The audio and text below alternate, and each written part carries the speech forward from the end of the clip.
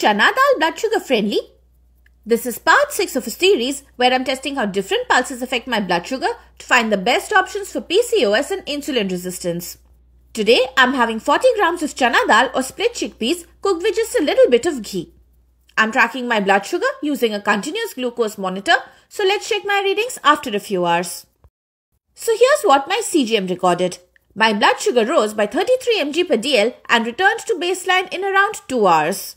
With insulin resistance, my goal is to keep my post-meal spike under 40 to 50 mg per dl and return to baseline within 2.5 to 3 hours. In this case, the spike was very well controlled and stayed comfortably within my target range. These results are actually the best among all the dals I've tried so far, although green moong dal was almost similar. So why did this happen?